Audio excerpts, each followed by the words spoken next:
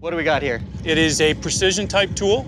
Uh, we use it for getting finer details and better information. Side scan goes out, gives us a really great image of a large area. Now we want to get a, a close-up shot, more precision, more accuracy. So we should be able to get some nice details of the information we need on the bottom. Which means I should be able to get a more accurate idea of the exact size and shape of these rocks. And how, how, far are we looking? Like, how far out can it scan? If we're in 100 feet of water, we can get a really nice image for about 100, 300 feet out. But if we need to get in close and see detail, we can drop it down to within probably five feet. All types of built-in measurement tools allow us to take orientation and bearing on these stone alignments and see what's kind of going on. We'll get it over the side here. Okay.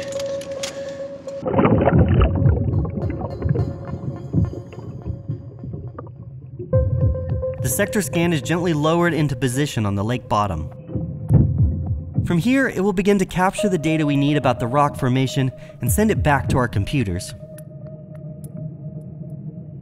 Now we gotta look at it on the monitor.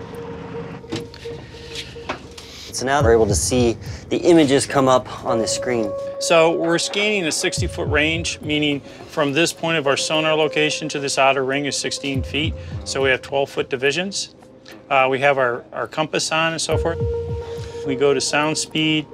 We click in, our, our temperature down there is about 65. Since we're in freshwater, salinity is zero, and our depth is about 45 feet. So we hit calculate, hit apply. We have our speed of sound is now set. Now we can start to see the individual stones. Yeah, oh, and oh, that's fantastic.